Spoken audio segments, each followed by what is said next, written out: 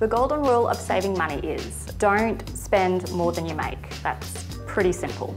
And track your spending. Write down every dollar you spend in a month to see where your money is going. Then look at where you can cut back. Use one account for everyday expenses like fuel, groceries, rent, rego, insurance. Keep a second account for optional spending, things like dinners out, drinks and clothes.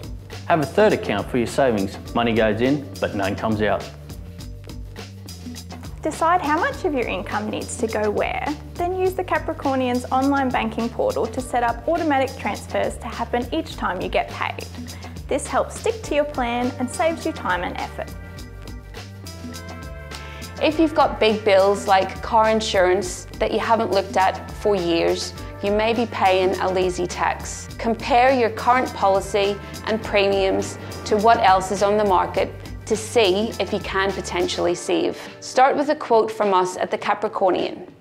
If you need a hand getting your accounts in order or would like a free financial health check to get your budget sorted, get in touch with us here at the Capricornian. We've got this.